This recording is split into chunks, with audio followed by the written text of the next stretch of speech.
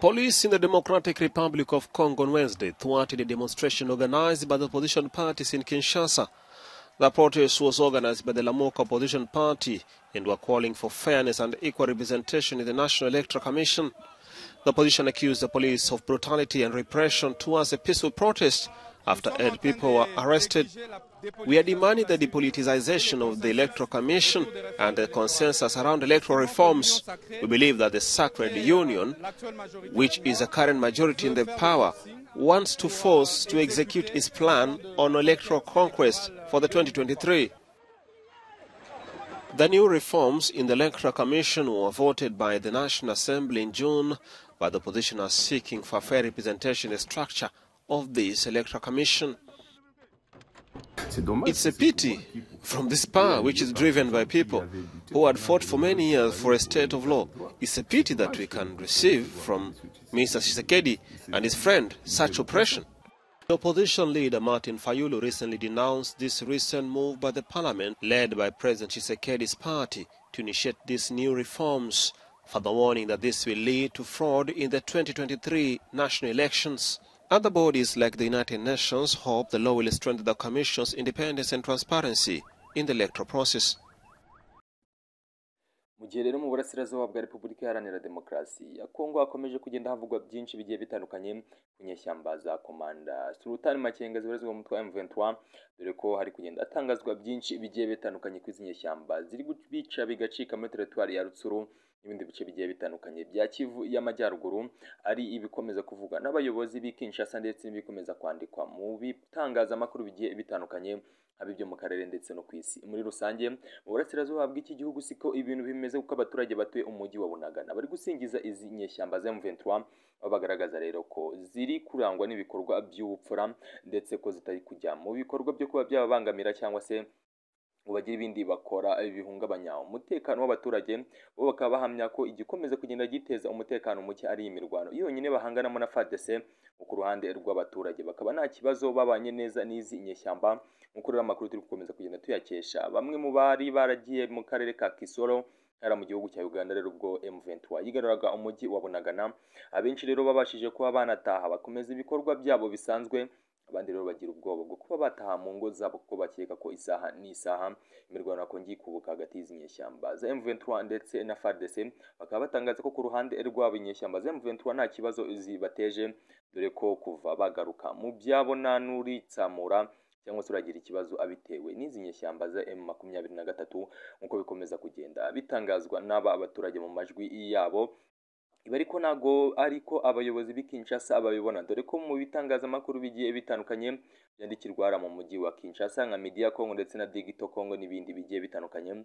Kinshasa Tribune n'ibindi bigiye bitandukanye bitangaza ko izi nyeshyamba za M23 ziri ku isonga mu guhungabanya umutekano w'abaturage nyamara abaturage mu ijwi ryabo bakatangaza ko nta kibazo bafitanye n'izi nyeshyamba. Za M makumyabiri na gatatu ibi rero byose n'ubundi bije nyuma y'uko abayobozi ba Kinshasa nta kintu bari gutangaza cyangwa se bari kugenda bigura intege mu bijyanye nuko bazahura umubano n'izi nyeshyamba ngo bakorane ibiganiro by'amahoro bishobora rero gushyira iherezo ku bikorwa by'intambara bikomeje kumvikana mu burasirazuba bwa repubulika iharanira demokarasi ya kongo ngo uhaye ikaze komeza ukore like na subscribe kugira tujye tubana umunsi ku munsi mu nkuru turiyo tubagezaho zibera mu burasirazuba bwa repubulika iharanira demokarasi ya kongo akarere ka afurika ibiyaga bigari ndetse n'ibikomeza kubera hirya no hino mu birere bine by'isi. Tukabibazanira hano gatanu kuri gatanu.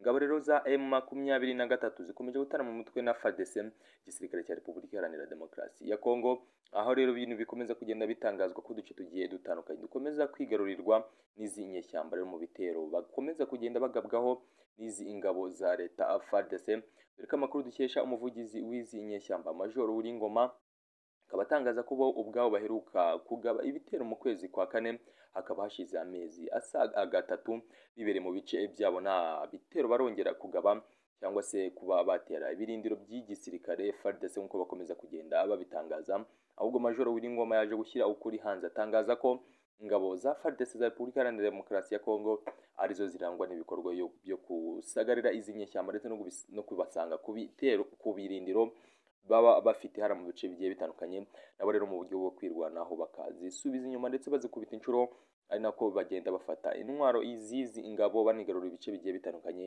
muri repubulika iharanira demokarasi ya kongo ibirere byose akaba ari byo bikomeza kugenda bishyira iherezo ku mutekano gakwiye kuba uri mu burasirazuba bw'iki gihugu ahubwo ibijyanye na insekirite cyangwa se umutekano muke bigakomeza kwiganza ndetse byumvikana umunsi ku munsi. Si gake cyane rero humvikana imiryango mpuzamahanga ndetse n'abafite ibigo byigenga byita ku buzima bw'ikiremwamuntu basabira iki gihugu cya repubulika iharanira demokarasi ya kongo ndetse basaba n'abayobozi bakuru mu nzego zigiye zitandukanye za leta gukora ibishoboka byose. Abaturage bakongera kugira ituze n'amahoro mu bikorwa rero bakora buri munsi aho basaba leta y'iki gihugu gukora uko ishoboye kugira ngo igarure umutekano ndetse n'ituze ibintu byongere gusubira ku murongo ariko binyuze mu muvugizi wa guverinoma Patrick Muyaya akaba na minisitiri w'itangazamakuru utajya ubura. Kumvikana umunsi ku munsi arakomeza gutsemba. Avuga ko nta gahunda leta ya Repubulika ya Demokarasi ya Kongo ifite yo kuba rero yagirana. Ibiganiro by'amahoro n'izi nyeshyamba za M23 mu gihe ibyo bazisabye zitarabasha kuba zabikora. Dore ko impande zombi zigenda zitana ba mwana ari uruhande rwa M23 rashinza FARDC ndetse na leta yabo. Guterera hagati mu ryinyo ntibagire icyo bakora ku masezerano bumvikanye na FARDC rero ku ruhande rwayo. Gashinza M23 gutumva ibyo bagenda bayisaba dore ko bayisaba gusiga uyu mujyi wa Bunagana ndetse n'ibirindiro bagiye bigarura muri za teritwari za Rutsuru bakabisiga rero bakaba babona kujya mu biganiro bigamije amahoro. Bamwe rero mu baturage babashije kutuganiriza baba hariya Kisoro mu karere ka Kisoro mu gihugu cya Uganda bagiye badutangariza ko benshi iyo inzara ibishe ku masaha ya ku manywa binjira ku mupaka bakajya mu mirima yabo bakaba basarura ibyo kurya ndetse n'ibindi bashobora gufata bakongera bakisubira mu gihugu cya Uganda ntawe ubakomenye cyangwa se abahungabanyirize umutekano icyakora ngo bakwa umusoro w'ibyo baba bafite iyo bari kwambukiranya imipaka nk'ibisanzwe kuko ibijyanye n'uyu mupaka na byo biri kugenzurwa izi nyeshyamba za M23. Ndetse abo baturage bongeraho ko iyo izi nyeshyamba zigufashe uri mu bitari ibyawe hari ukuntu ukubitwa kandi inabi rero akaba ari ikimenyetso cy'uko badashaka ubujura. Dore ko izi nyeshyamba za M23 ziri kuvugwaho rero gurinda neza iby'abasize ibyabo dore ko abari batuye bunagana bose batabashije kugaruka mu gihe rero izi nyeshyamba zatangazaga ko amahoro yagarutse ababishaka babasha kugaruka.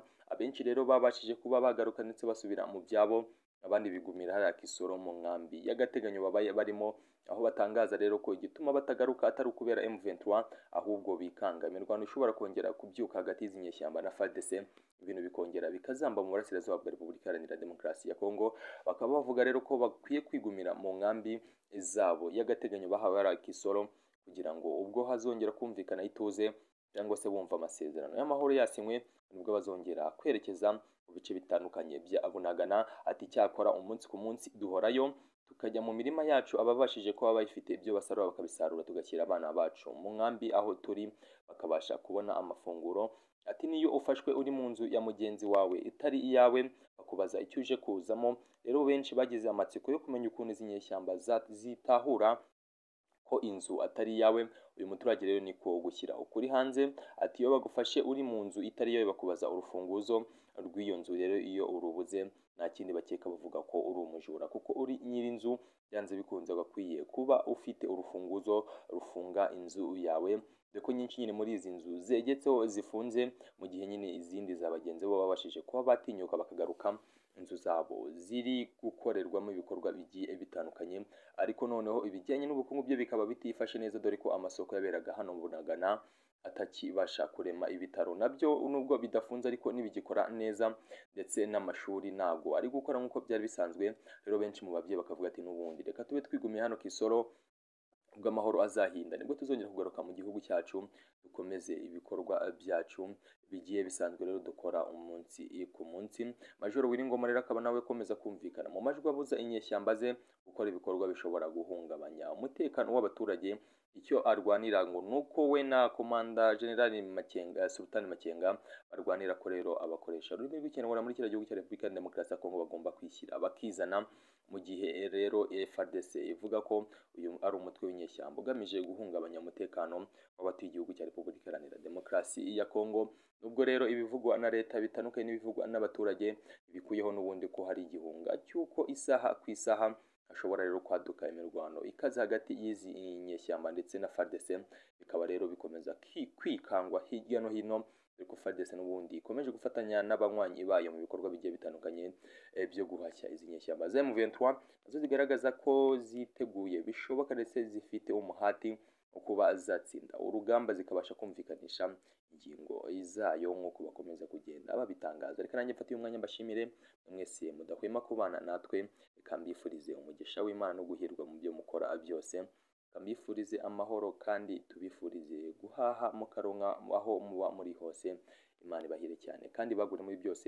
Mwibagirwe gukora subscribe kugira twibanire umunsi ku munsi. Ciao ciao turabakunda.